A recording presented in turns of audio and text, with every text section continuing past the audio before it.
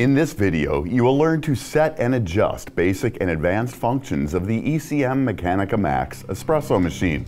This video is chaptered for quick access to specific functions.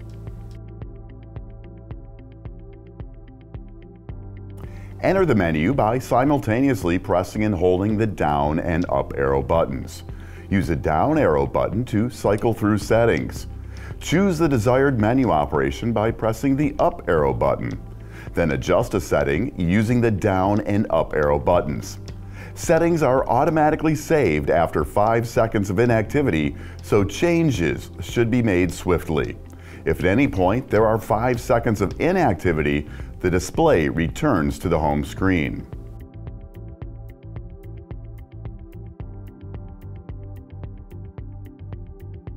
When first turning on a cold machine, CLD is shown on the display until the required temperature measured at the boiler and brew group is reached. After about 25 minutes, the machine will heat to set temperature and the brew group will reach operating temperature. CLD will disappear and the display shows the boiler or brew temperature depending on the mode selected. During heating, when showing CLD, the machine can still be operated at any time, but we recommend waiting until CLD has disappeared from the display.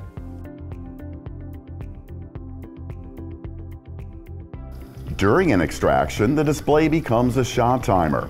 If active pre-infusion is in progress, the display shows three dashes during this phase. If passive pre-infusion is in progress, the display shows a countdown of passive pre-infusion time. Once pre-infusion is complete, the display shows the shot timer. See chapters later in this video for more information and pre-infusion settings. Using Eco Mode and after last use, time in minutes can be set for the machine to enter standby, which turns off boiler heating.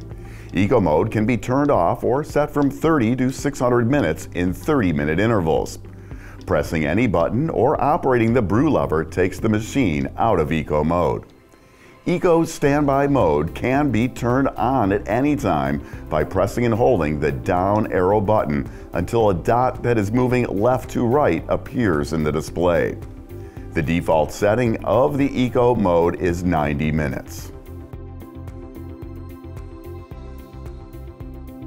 Under the menu item T1, you can set the desired brewing temperature. This is a target temperature measured by a sensor at the top of the brew group. This temperature is used by the flush advisor and when the machine is used in brew temperature control mode. See chapters later in this video for more information on those functions. The default value for T1 is 92 Celsius or 198 Fahrenheit.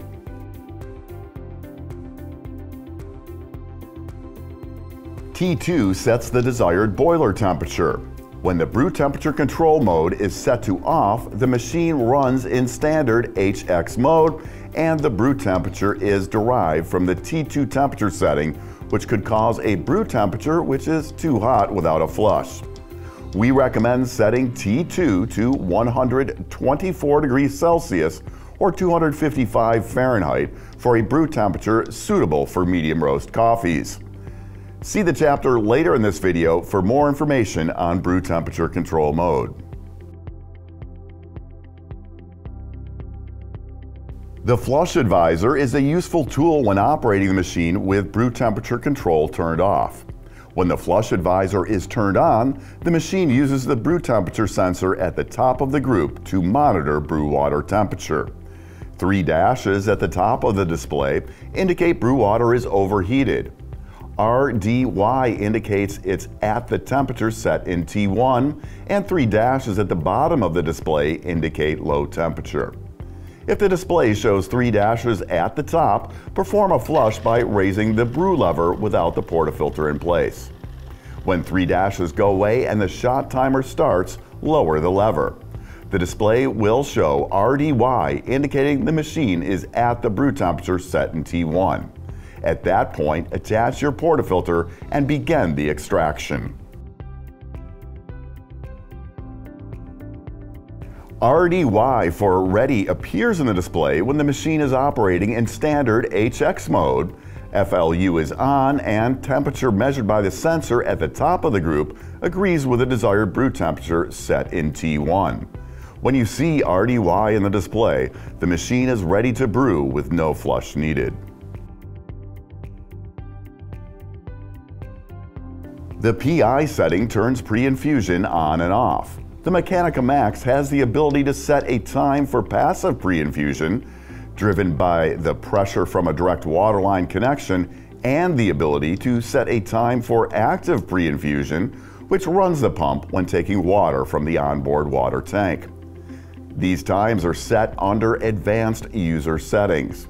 See the passive and active pre-infusion chapters later in this video for more information on setting those features.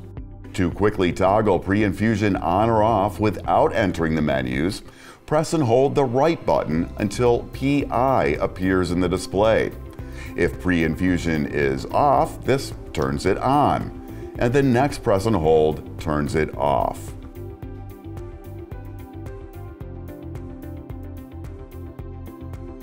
Using the CLN setting, a reminder can be set to clean the brew group after a desired number of brew cycles or turn the function off. Brew cycles only count if the cycle lasted more than 15 seconds. When the set number of cycles is reached, CLN appears in the display. After cleaning the machine with 10 cleaning cycles, the message will be deleted and the counter will be reset.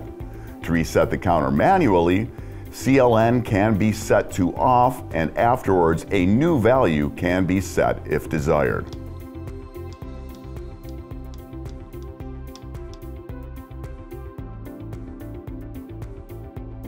The RST setting is used to reset the water filter reminder described later in this video.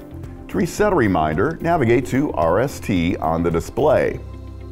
Then press the up button to enter the menu. Then choose Water Filter Reminder FL. Then press and hold the up button until three dashes appear in the display, which indicates a successful reset of the reminder. Advanced User Settings, AUS, is used to turn on and off the display of advanced and optional settings in the menu.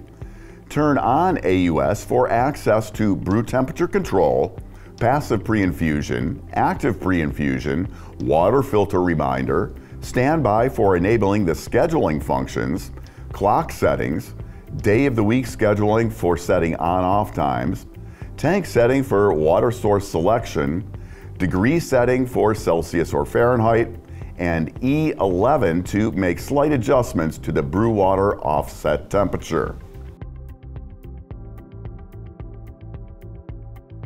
Advanced user settings must be turned on to adjust this function. Brew temperature control determines where temperatures are measured and how the machine is heated. When set to off, the temperature sensor within the boiler controls heating of the machine. BC 1 through 3 use the temperature sensor at the top of the group to control heating of the machine. In these modes, accurate brew temps are possible without the need to flush the machine. BC1 is the slowest heating mode with the lowest overshoot. BC2 is the recommended heating mode, and BC3 is the fastest heating mode, recommended only for experienced users making a steady amount of shots in quick succession. When using brew temperature control, the boiler temperature could be too low to steam milk comfortably. To increase the boiler temperature temporarily for steaming, press the down button during a coffee extraction. ST appears in the display, and the boiler begins heating to the user set T2 temperature.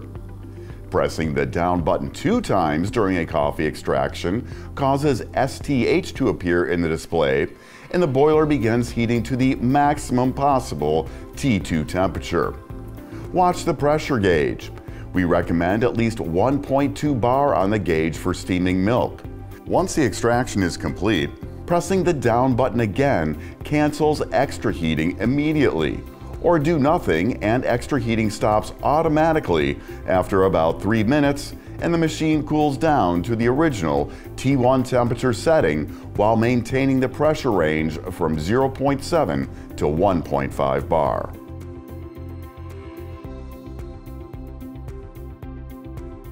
Advanced user settings must be turned on to adjust this function.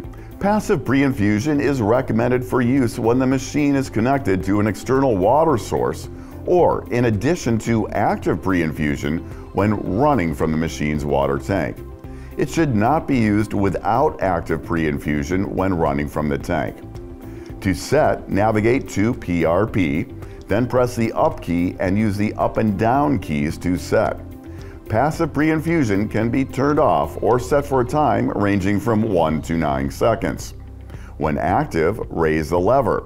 The display will show a negative counter for the set time and the machine allows outside line pressure to push water and infuse the coffee. After the set time elapses, the pump comes on and rises to normal brewing pressure. Advanced user settings must be turned on to adjust this function. Active pre-infusion is recommended for use only when the machine's tank is used as the water source. Passive pre-infusion must be turned on in order to access and use active pre-infusion. To set, navigate to PRA. Then press the up key and use the up and down keys to set. Active pre-infusion can be set to off or for times ranging from 1 to 10 seconds. When active, lift the lever and the display will show dash dash dash for the set time. The pump runs for the set amount of time and then pauses for the time set in the passive pre-infusion mode. After the time elapses, the pump comes on and rises to normal brewing pressure. Advanced user settings must be turned on to adjust this function. To access the water filter reminder, navigate to the FL setting on the display and press the up button. Here you can set to off or to the number of liters of water used before you get a reminder to change the water filter ranging to a maximum of 200 liters. When the machine is turned on, H2O will be shown for a short time indicating the actual water consumption of the machine. After receiving a warning, it can be cleared using the reset function described in an earlier chapter in this video.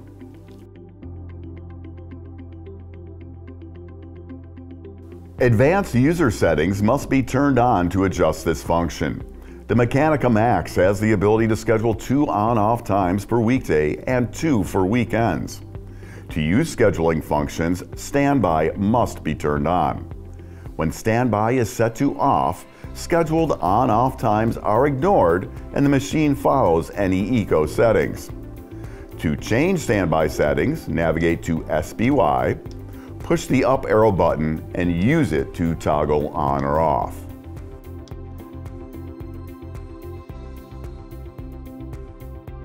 Advanced user settings must be turned on to adjust this function. To set the clock, navigate to CLO.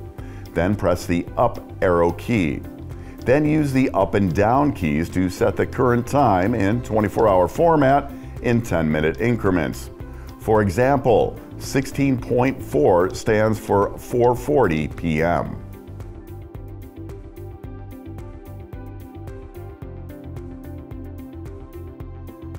Advanced user settings must be turned on to adjust this function.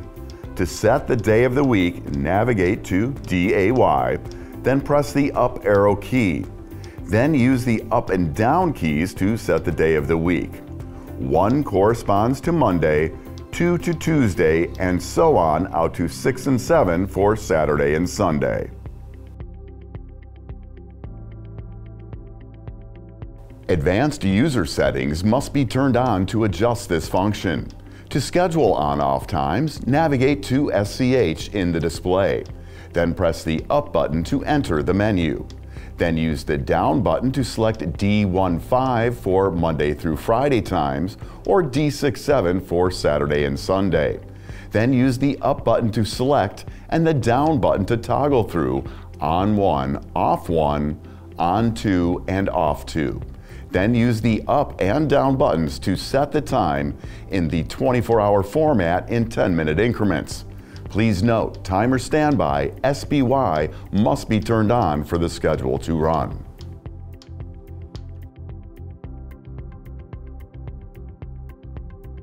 Advanced user settings must be turned on to adjust this function.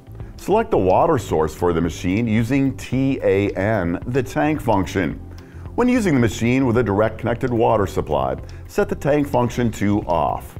If using the machine's tank to supply water, set the tank function to on. Set the valve underneath the rear of the machine to the proper position for your water source selection. For a direct waterline supply, turn the valve to point at the waterline connection. If using the tank to supply water, turn the valve to point away from the direct waterline connection. Advanced user settings must be turned on to adjust this function. To change the display to Celsius or Fahrenheit, use the down key to navigate to the degree symbol. Then press the up key to enter and either key to toggle between C for Celsius and F for Fahrenheit.